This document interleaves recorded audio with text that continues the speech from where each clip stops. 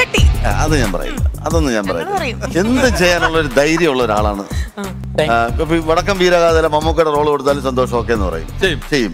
കിരീടത്തിലെ ലാലായിട്ട് അഭിനയിച്ച റോൾ കൊടുത്താലും എന്ന് പറയില്ല അല്ലേ? ഒരു കാര്യങ്ങളും നോ പറയത്തില്ല. എനിക്ക് അതുകൊണ്ടാണ് സന്തോഷം ഒരു ഇഷ്ടം. അല്ല അല്ലല്ല ഞാൻ പ്രത്യേകിച്ച് ഞാൻ വരുന്നതിന് മുമ്പ് തന്നെ ചോദിച്ചു ആരൊക്കെ ഉണ്ട് എന്തൊക്കെയുണ്ട് നമ്മൾ സന്തോഷം കണ്ടിട്ടുണ്ടെന്ന് പറഞ്ഞു. അപ്പൊ ഞാൻ ഇതുവരെ സന്തോഷം കണ്ടിട്ടില്ല. കാരണം ഇത് ഒന്ന് കണ്ടിരിക്കേണ്ട ഒരു മുതലല്ലേ.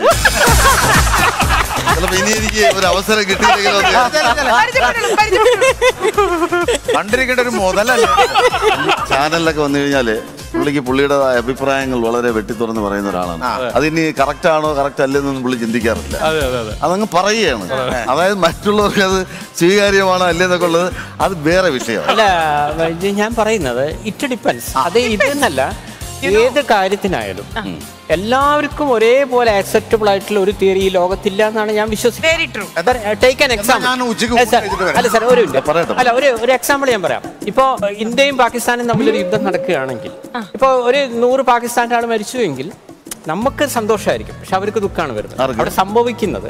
അല്ല അല്ല ആൾ മരിച്ചെങ്കിൽ അവർക്ക് വേദനയായിരിക്കും ഉണ്ടാവുക. പാകിസ്ഥാനിലുള്ള അല്ല സർ ഞാൻ പറഞ്ഞത് പാകിസ്ഥാന്റെ ആളാണ് മരിക്കുന്നതെങ്കിൽ നമുക്ക് സന്തോഷമാവുക അവിടെ സംഭവിച്ചിരിക്കുന്ന കൊലപാതകം എന്നൊരു സാധനമാണ്. തിരിച്ചാണെങ്കിൽ അങ്ങനെയാണ് വരിക. മനസ്സിലായില്ല എന്താണ്?